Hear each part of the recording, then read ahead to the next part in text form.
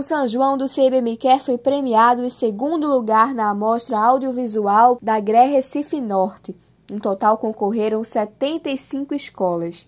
Devido à pandemia, a festa de São João foi feita apenas para as crianças. Os professores escolheram vídeos e fotos e concorreram na primeira amostra audiovisual. Juntamos fotos, vídeos e montamos um trabalho, uma amostra audiovisual que foi, foi show de bola. Mostrando né? um pouquinho né, como é que foi a festa aqui do, do CIB Miquel, São João.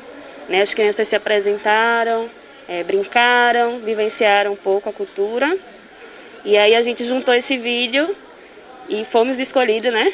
Ficamos como finalistas. Segundo lugar. E voltamos muito, juntamos, é, conversamos com a comunidade, com os profissionais, para todo mundo voltar a participar e aí garantimos o segundo lugar. O Centro Integrado recebeu cerca de 1.500 votos. O CIEI concorreu com escolas de referência e de crianças de todas as idades.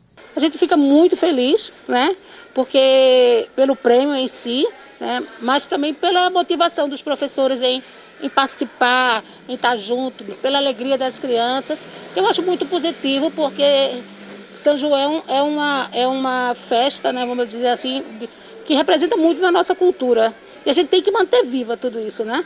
A participação da comunidade escolar foi fundamental para que o CBM Quer tenha ficado entre os finalistas. Além do vídeo também, né, foi um poporri da nosso, do nosso evento junino, né, porque a gente quis resgatar, né, quis não deixar morrer essa tradição junina, né, que a gente faz a nossa festa de São João todos os anos.